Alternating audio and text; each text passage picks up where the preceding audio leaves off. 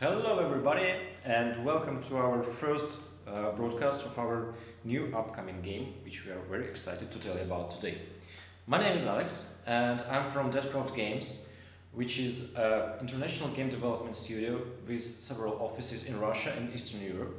And here is Alexander Maya, my very good friend, and one of the activists of the local gaming and game development community.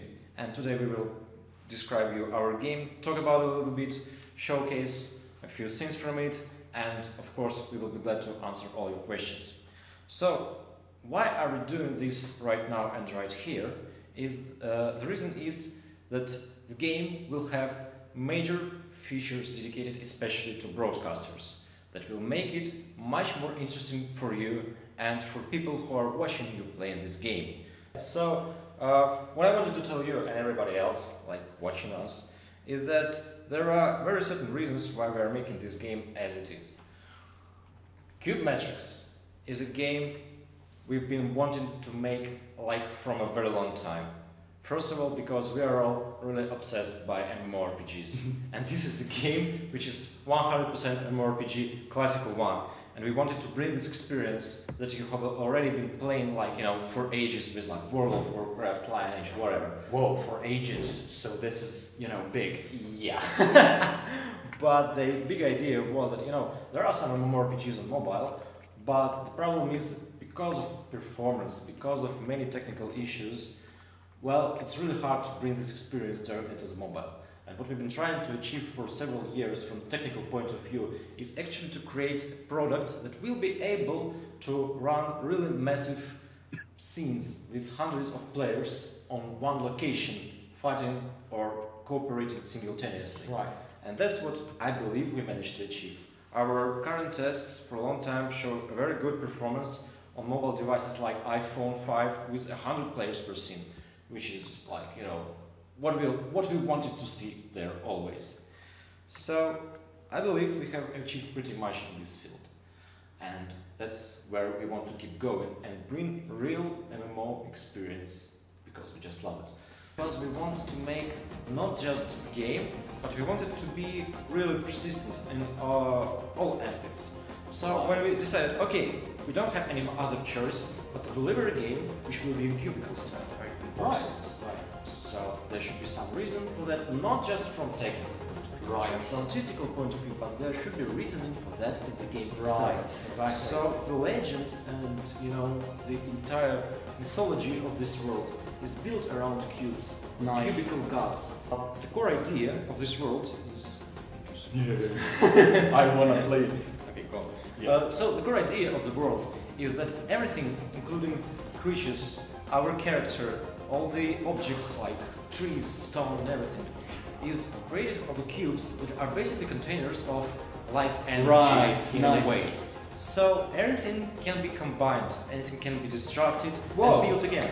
Uh, one of the major things uh, that we wanted to bring into this game was building your own very own place Nice. where you can, you know, develop your character, develop the fort itself, improve everything around you, and course end up as the greatest real estate owner around.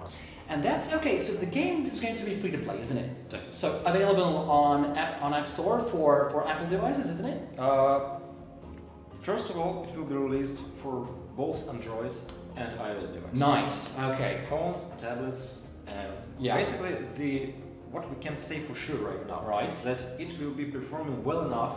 I mean, totally fine without Okay. any problem on all the devices that are compatible comparable to iPhone 5 or Mhm. Samsung Galaxy S4.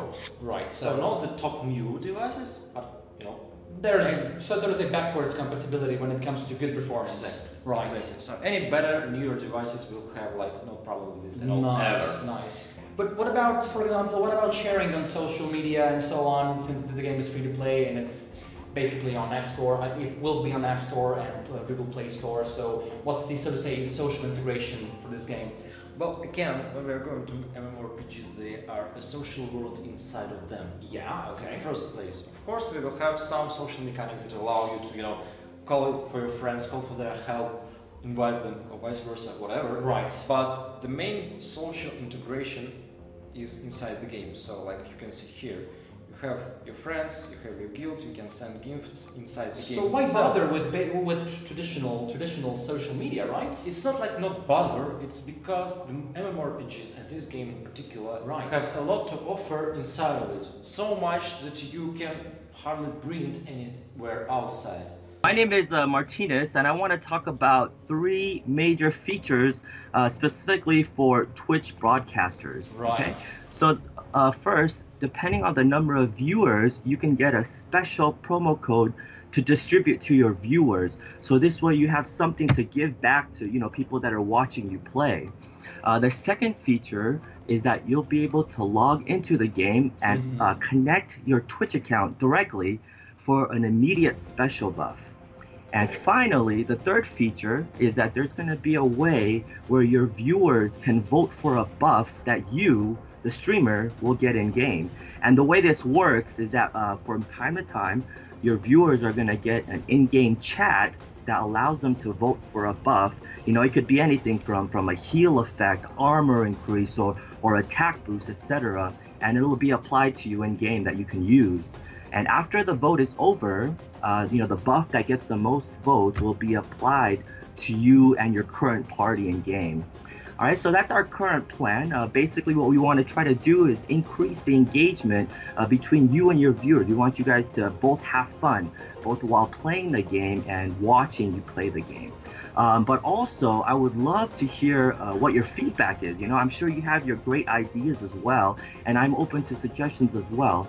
Uh, my email is there on the screen that you see, m.tonke at datcroft.com. And please, please get in touch with me. Uh, we want to make sure that you have all the tools necessary to be successful, and, and that's what I'm here for. So please, please use that resource. Thank you very much. Marty, uh, apparently you've been kind of busy, you know, trying to figure out what which way the game's going to be. Well, basically integrated with Twitch, isn't it? Yes, that's correct. Nice. That's correct. Nice. So we have this, you know, so to say, imminent connection between the game, between the community, and between the streamers, so to say. So this magical triangle apparently is going to work like a charm uh, uh, because you guys really did a great job, you know, figuring out what people are doing during um, viewing the streams. Uh, while streaming and while playing the game, so you kind of incorporated all these three three things together into one, you know, super massive black hole, you know, kind of dragging everyone inside into the game, into the community, into everything. When can we expect this game to be available for us to enjoy? Well, uh, there is no secret there. Our major plan is to deliver uh, first soft launch build by the end of September. So it's pretty close already. Uh, so it's like two weeks away? Yes. Yeah, I mean, what does it mean, a soft launch, from our perspective? Uh, it's a version that will be available only in limited amount of countries, like one, one or two of them Yeah, actually. yeah. But what is important that there will be a separate not version, but let's say access point for streamers who want to cooperate with us and who want to be there from the day one. Hmm. so they will be able to start playing this game before anybody else. Because, like Marty described, all these features that we were developing, especially for the broadcasters, we want to have their feedback and we want, you know, to cooperate really, really close with them. So that's why we are going to provide them access first, polish the game because Because yeah. because, Because, yeah. because it's a game and it's Yeah. an RPG you you can, you you can't avoid problems. Really, yeah. So we want to deliver the final version in a very good you know condition and everything, and also with very good features for streamers. Like Marty said, we have already a few of them getting ready to kick off. But if you guys have any new ideas, if you have some recommendations or some feedback on the features Marty had talked about, definitely we are waiting for them in order to improve everything in the game from the player's point of view, from the streamer's point of view, and so on, to make it really something interesting.